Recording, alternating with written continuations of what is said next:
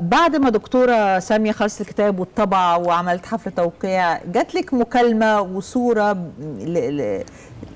لنسخة من الأطلال من حد ما تعرفيهوش؟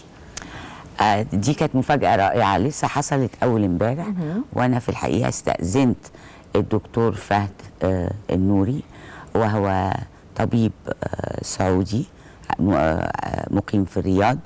بعت لي إيميل عشان يقول لي إنه لسه مخلص الكتاب وإنه انبسط من الكتاب جدا وإنه عنده روشتة يعني حتى عنوان ال subject بتاع الإيميل كان روشتة للدكتور إبراهيم ناجي وقال لي أنا في حوزتي روشتة من جدك عليها أبيات من الأطلال هو وقتها كان لسه بي بيكتبها يعني ده جزء من النص اللي تغنى آه.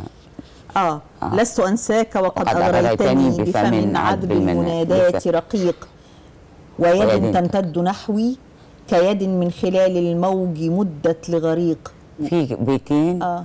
آه هنا آه. من الأطلال أيوة، آه، الرئيسية آه. ال- ال- الأصلية هو بي رامي بيشيلهم أيوة يعني ده النص الأصلي. بالظبط. آه يعني كان كاتبه قبل ما قصيدة. رامي آه. بالظبط ده نص قصدي جزء من أبيات القصيدة و- الأصلية. وده كان- في حاجات كتيرة كتبها إبراهيم ناجي على روشتاته. طبعا آه طبعا. شارع إيه بقى؟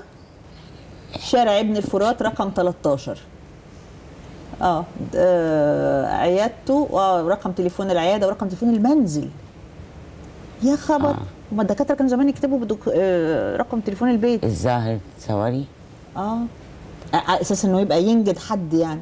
آه. أنا نسيت أسألك يا دكتورة. سامية آه، وده سؤالي الأخير. فندم إيه أكتر مقطع من أغنية الأطلال بيستهويك دلوقتي؟ سواء للكلمات والمعنى أو لل- للنغم. يعني رأس حب سكارى طبعا. هل رأى الحب سكارى ده ده المقطع المفضل بالنسبة لك. مثلنا طبعا.